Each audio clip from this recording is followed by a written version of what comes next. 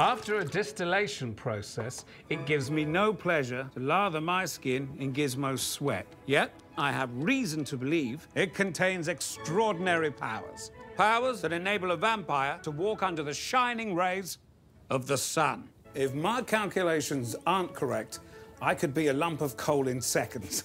Ah! Holy shit! That is bright. There you go. This is amazing.